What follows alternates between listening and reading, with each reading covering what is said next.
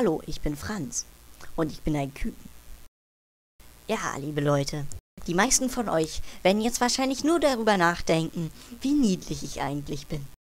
Diese Leute verlieren aber jegliches Maß an Realität und haben überhaupt kein Auge mehr für das, was ich tue. In so einem Fall schlage ich zu. Ich spiele im Kernkraftwerk rum, ich quäle Katzen, verschicke Briefbomben, töte Menschen mit 37 Messerstichen und esse ihre Hände, Karl, da liegt ein toter Mensch in unserem Haus. klaue Ozon aus der Atmosphäre und erzeuge die Wirtschaftskrise.